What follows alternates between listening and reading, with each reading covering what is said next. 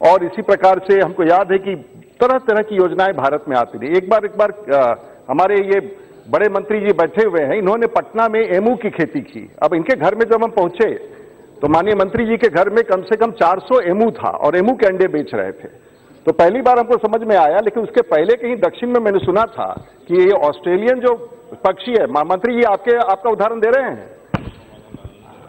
वो कोई और और ज्ञान में पड़े हुए मंत्री जी आपके एमू की चर्चा हो रही है भाई एमू की चर्चा हो रही है, जो आपके घर में था।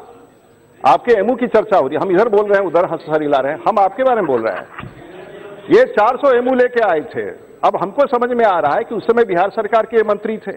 तो पहली बार हम अपने जीवन में एमू देखे तो बड़े बड़े पक्षियाँ इनके घर में घूम रही थी। तो इन्होंने कहा कि बड़ा अंडा का व्यापार होता है। तब तक मैंने एमू देखा नहीं था ध्यान से। लेकिन बाद में जब हमने कागज़ पलट करके देखा तो एमू के व्यापार करने वाले इस देश में दो का चार बना रहे थे, चार का आठ बना करके एमू के नाम पर लोग पैसे का निवेश करा रहे थे। मुझे विश्वास नहीं है, मंत्री जी ने अपने पैसे से एमू का व्यापार शुरू किया था, लेकिन एमू के नाम पर, एमू के नाम पर पूरे भारतवर्ष में ऐसी ऐसी योजनाएँ थी। फिर एक किसी ने कहा कि भाई, अगर आप इसराइल का यात्रा करेंगे, ऐसे ऐसे करेंगे तो हम आपके इस यात्रा के जो कमाई होगा उसमें से हम हम जो टूरिज़्म का प्रॉफिट कमाएँगे हम भारत में स्कूल और अस्पताल खोलेंगे। और वो लगभग दस हज़ार करोड़ रुपया लेके चला गया। तो ऐसे ऐसे ज्ञानी लोग भारतवर्ष में कितने हैं और कहाँ कहाँ इसका पता लगाना बड़ा कठिन है। लेकिन लेकिन नहीं नहीं इनका ये मंत्री जी के एमू का मैं वो तो आ, मतलब कृषि मंत्री थे उन्होंने कहा कि एमू का अंडा बेचना है और पूरे भारतवर्ष में पहुंचाना। उस विषय को नहीं मैं मैं संदर्भित खाली कर रहा हूँ।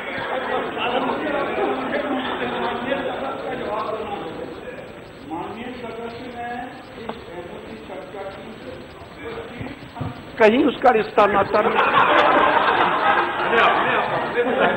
नहीं और वो मैं अपने घर के लिए लाया था। ये ये जान लें। अगर नहीं जाने हैं तो थोड़ा और ज्ञान वर्धन कर ले। नहीं महोदय, मैं मैं, मैंने स्पष्ट रूप से कहा। मैंने सिर्फ़ इनको इतना ही कहा, महोदय जी, कि आपके घर में उन 40 और 50 एमू देखने के बाद मेरा एमू के प्रति ज्ञान बढ़ा। जो देश में पता नहीं। आप, महोदय, आप भारत सरकार के मंत्री हैं। कम से कम जो बोल रहे हैं, इसी पर चर्चा हो रहा है चीट फंड का, कि देश में एक बार योजना चली थी जिसमें एमू के नाम पर लोगों ने वसूल लिया था। तो मैं संदर्भ बता रहा हूँ।